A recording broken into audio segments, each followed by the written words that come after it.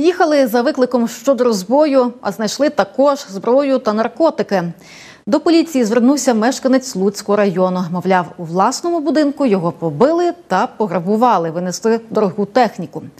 Правоохоронці виявили зловмисника. Це односелець потерпілого. В останнього вдома знайшли вкрадені речі, а ще гранати, набої, пістолет і майже кілограм канабісу. Його оселі знайшли близько одного кілограма канабісу, дві гранати, два десятки набоїв, пістолет. Все це також вилучено. Зараз йому вже оголошена підозра за розбій, вчинений в умовах воєнного стану, а також е, розслідується кримінальне провадження ще за двома статтями Кримінального кодексу незаконне зберігання наркотиків та е, незаконне зберігання зброї.